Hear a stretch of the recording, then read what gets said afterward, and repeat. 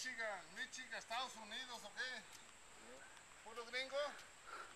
Puro gringo. Puro gringo, bien, oiga. Oiga, si la traigo llaves de esta. ¿Qué? Ya se enseñaron a hablar español aquí en México, ¿eh? Sí.